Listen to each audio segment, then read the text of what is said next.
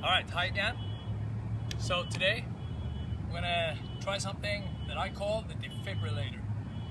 What does that mean? Well, you know how you're not sure sometimes if a ball is dead or not? Well, this thing can actually revive a dead ball. So how do we do that?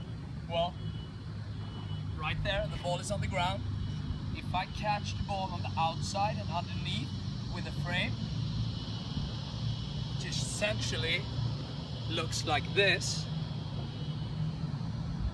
it's possible to lift that thing up. So here it is in action. Now that almost looked like a hit topspin, right?